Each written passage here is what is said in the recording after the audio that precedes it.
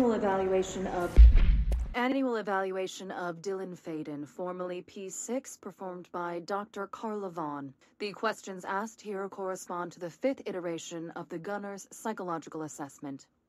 Are you ready, Dylan? Let's begin then. In a single word, describe the world around you. Where's Casper? Dr. Darling is out of the building today. He's never out. He didn't want to come, did he? He never visits, not since Roberts. T- tell Darling it wasn't my fault.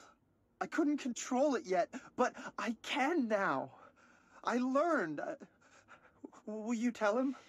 In a single word, describe the world around you. A prison. A cold, empty prison. Not even a poster on the wall. Mm-hmm. What is the next number in the sequence 3, 6, 9, 12, 15? 18. What day is it today? How the hell would I know? It's not like you give me a calendar. You find a rabbit in the woods. It is breathing, but not moving. You cannot see any blood. What do you do? Leave it. Expand on that. It doesn't matter. The rabbit's not real. None of it's real. What day is it today? Do you enjoy asking people questions that can't be answered? Is, is this what gets you up in the morning? What you dreamed of doing as a scared, stupid little girl? Can you describe a dog to me? In ordinary, we had a friend. Nosebleed Neil. And when it all went crazy, you know what I mean. Nosebleed Neil turned into a dog. Or something like a dog. What day is it tomorrow? Fuck off! I don't know! There is no calendar! How can I fucking know? Dylan, calm down. Fuck you! Fuck you and fuck Casper! Hey, hey, hey! Are you watching this, you old fuck? Did you send your bitch because you're too scared of me? Where is Casper? Security, get a team in here. I need. Dylan Faden, formerly P6, performed by Dr. Carla Vaughn. The questions asked here is.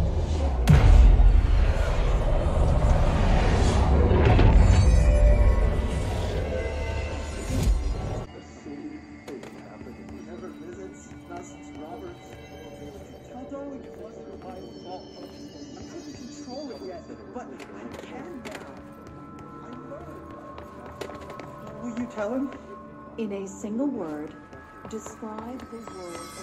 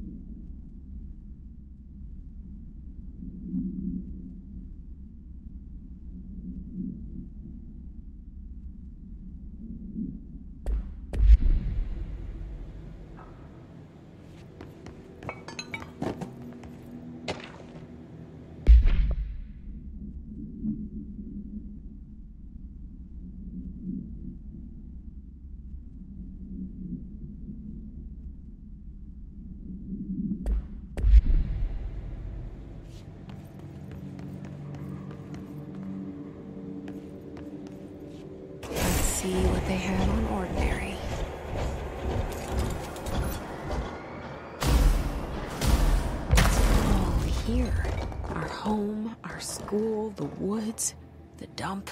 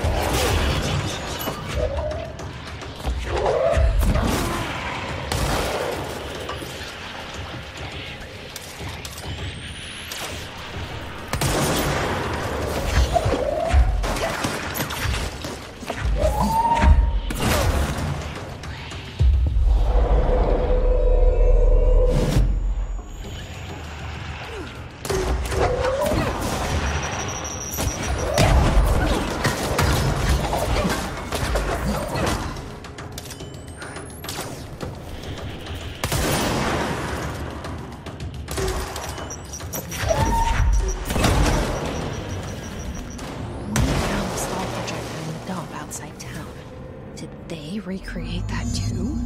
Is that where they keep it?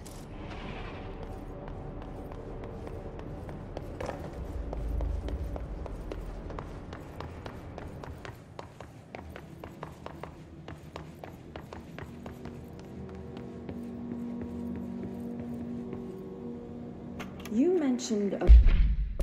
You mentioned a poem last time we talked. By Thomas Zane? Yes. Beyond the shadow you settle for, there's a miracle illuminated. Hmm. I looked the poem up. Only I couldn't find any poet by that name. I did find a European filmmaker who moved here in the 60s, named Thomas Zane. What? I don't. No matter. It suits you very well. The poem. How you see things. Maybe you wrote it yourself? I didn't. No matter. You've said a few times that you feel like there's a piece of you missing. Can we talk about that? Okay. Yeah, um. It's this. I feel an emptiness, a yearning for something that I think I lost. It's natural for you to feel that way. Your brother and your parents are dead. No! No. Dylan's not dead. And that's not even it. You're referring to the imaginary friend from your childhood? Polaris. She's come back. After a long time, she's calling me. In a dream I saw, she. She showed me things. Jesse. It felt more real than anything. As real as what happened in Ordinary. The industrial accident in your hometown? That you believe Polaris caused? No! It wasn't an accident. There was no industrial accident, and Polaris didn't cause it. She saved me and Dylan. Jesse. No! It was a cover up. The government knows about it. There were agents there. Agents from. I don't know exactly, but they took Dylan. They. I'll find them. I won't stop looking. Polaris wants me to go to New York. There's a building there. I have to leave soon. I have to be there at a very specific time. Something. Something hugely important is going to happen. Jesse, you know we can't let you go until you're well. And that begins by understanding what's real and what's imagined. There's a miracle illuminated. Hmm. I looked the poem up. Only I couldn't find any poet by that name. I did find a European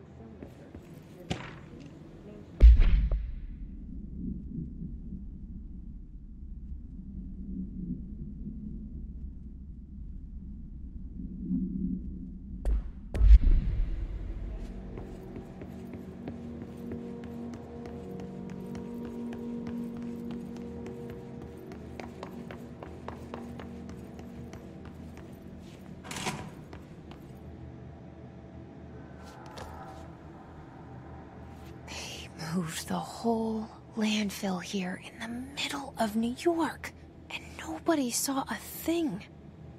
Pretty unbelievable.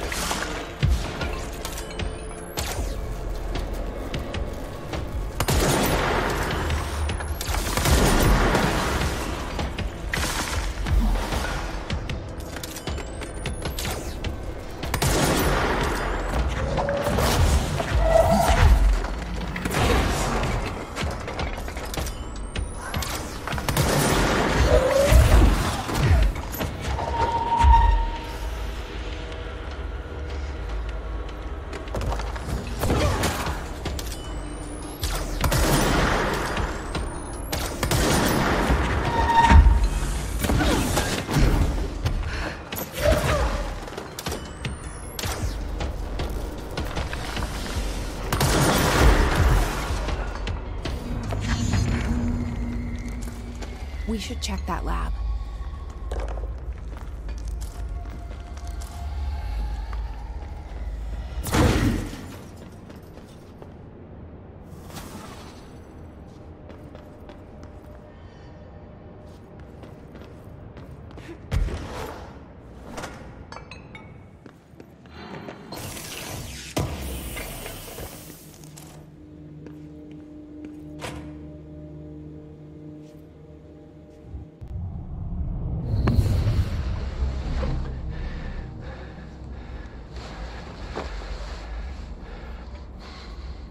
Effective immediately.